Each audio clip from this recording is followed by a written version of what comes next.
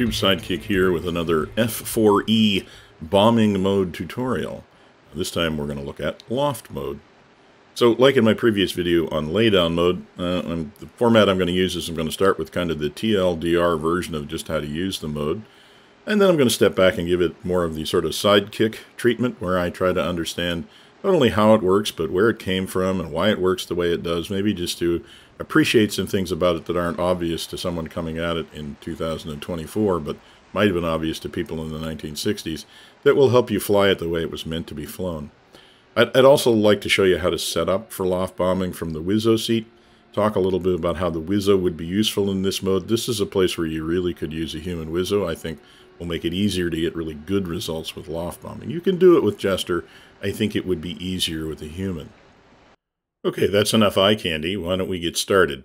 We're at what I would call a start point uh, on our way to our initial point. We're setting the weapon selector to bombs. We're setting the mode selector to loft. We have to turn it to the left this time to do that. We're setting the release uh, spacing to 0.1 seconds, and we're going to set the release mode to C or continuous so that we drop all of the bombs. We're carrying Mark 83s. We're carrying seven of them, three on the center pylon, two each on each of the inner wings. So we need to enable those. And we need to put our master arm switch on.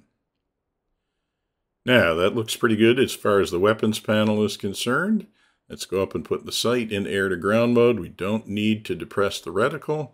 One thing we do need is to turn the flight director on, pointed to the left like that. We'll talk about that when we get to flying.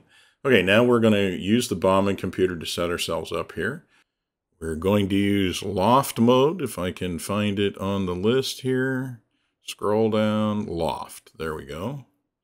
We're using Mark 83 bombs this time. So we'll set Mark 83s. We're going to use 450 knots. I find that's a good approach speed. And we're going to use 500 feet. Uh, that's MSL, so we do need to put in the target altitude, which is 30 feet. I just know that from knowing the target. Now, I'm going to put in 3.8 here as the IP distance. I know that from having measured it. We'll talk about that a little bit later, but trust me for now, it's 3.8. The two pieces of information that we're going to get uh, so we put in the IP distance, we put in our loft angle 30 degrees. There's two pieces of information that Jester is going to use out of that. He's going to use the loft angle and the countdown timer. So we need to uh, jump in the back seat and make sure that Jester has got his information correct. Just give me a sec here and we'll zoom in. And there is his loft angle. We're using the low angle, and there's his countdown timer, and it agrees with what the bombing computer said. So we are all set. Back in the front seat, the thing we want to check here is that the ADI needle is centered because that means that the flight director is on, which is going to become critical when we get to the loft point and have to do the pull-up. Make sure your flight director is on and that you can see the yellow ADI needle in the middle. Okay, as the pilot now, I'm flying pretty much head down.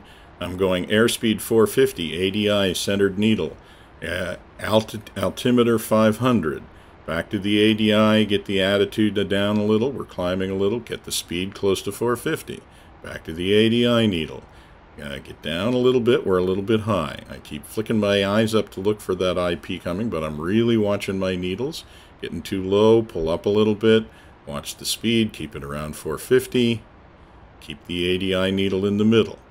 So this would be where it would be really helpful to have uh, my Wizzo telling me as we're approaching the IP, because splitting my attention between the needles, which I really want to keep them exactly on, and seeing the IP coming. This is the IP here. It's a stream that we're going to fly over. As we go over it, I am going to pickle. I get a light. Now the countdown timer has started. When I hear a tone, now I have to chase that, that horizontal ADI needle up the ball, trying to keep the yellow, the vertical needle in the middle, and then the bombs go. Now, I left the labels on just because it's kind of fun to watch the bombs uh, from the cockpit here. And if we look down there, we'll actually see the bombs approaching the target. It doesn't look like a bad drop. See how they do as they get there. Well, given that we wanted to straddle the center of the compound, I'm pretty happy with those results. So that's a pretty good loft bombing attempt. Uh, so now let's let's go back to the beginning of this flight and talk about how we got there. Okay, here we are on the runway. Uh, the first thing I want to show you is how we arrived at the IP to target distance. To do that, we're just going to uh, bring up the mission editor here. Okay, there you can see our uh, flight path markers. You can also see the hint of the measurement line there behind the flight path markers. Uh, there's a measurement line that runs from the targets, the, all the squares up in the center right, down to that stream, which is going to be our IP, and it is 3.76 nautical miles. So uh, we're going to put 3.8 nautical miles into the bombing calculator in order to figure out all of the stuff that we need. Well, basically, in order to figure out the countdown timer. So, with that in hand, let's go back and set up the jet again. Okay, we have the bombing computer or calculator up again. Uh, the cockpit has been set to loft bombs. We've set the uh, release mode to continuous, 0.1 seconds, and we make sure the flight director is on. All that happened in the background. So we're going to loft the bombs They're going to be Mark 83s. We got to remember they're Mark 83s, makes a difference. We're going to run in at 450 knots. We're going to run in at 500 feet. Takes a little while to get that counted down. And we are going to set our IP distance to 3.8. Target altitude is 30 feet and our loft angle is 30 degrees. And with that, we have the numbers that we need, which is that we have a 30 degree climb and we have a 4.6 second countdown timer. We've transferred those to Jester so we can hop in the back seat and make sure they're right. Now, I will point out that you don't, if you have two uh, people in the jet, two pilots, you don't have to transfer it to Jester. You can actually go back there and turn those dials yourself turn them to 300. Those are in tenths of a degree for your pop-up angle, and 4.6 seconds or 46. So 346, those are the numbers we need in the Wizzo slot. And so now we are ready to get the party started. We're going to go fly out, uh, turn to the right, go around to the right, and line up on that start point uh, along the flight path that we've set, which means that we'll pass that point we used as a start point, basically aimed at the uh, the target through the initial point, and we'll be able to um, essentially do this run the same way that we did the last time when we started in the middle. 100 knots.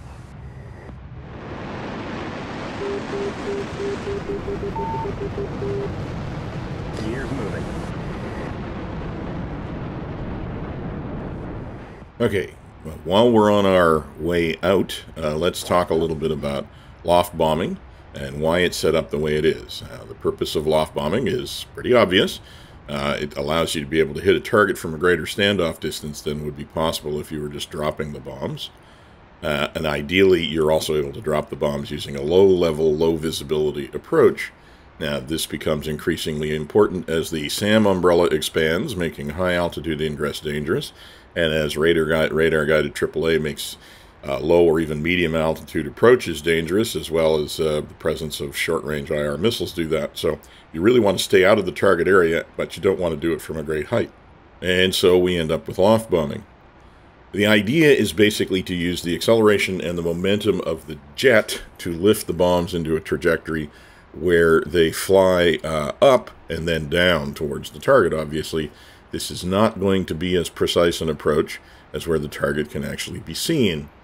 So uh, what we do to make it as precise as possible is we pick our launch parameters, meaning our speed and our launch angle, and the bombing calculator figures out when we would have to release at the top of the pull-up, and it, uh, it does that when we give it a launch or a loft angle and the drag coefficient of the bomb, essentially.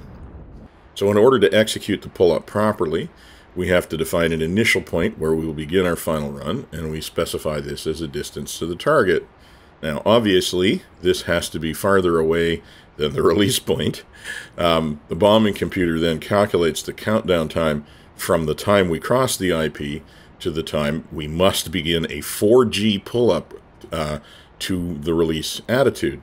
Now, the 4G acceleration is important because a range of the bombs will be determined by the acceleration, uh, this, the, the how hard we throw the bombs, as well as our speed and final angle. And this is why we need to enable the flight director, because we really do want to try and follow that horizontal needle as smoothly as possible to get a good 4G pull-up.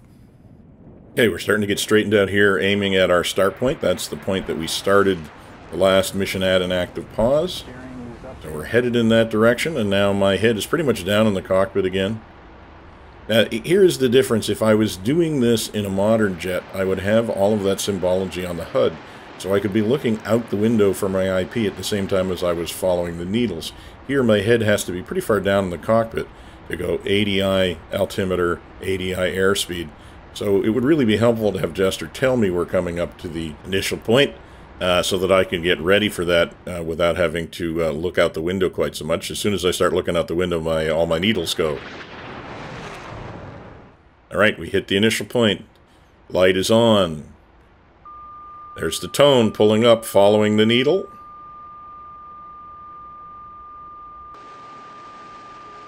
And the bombs go.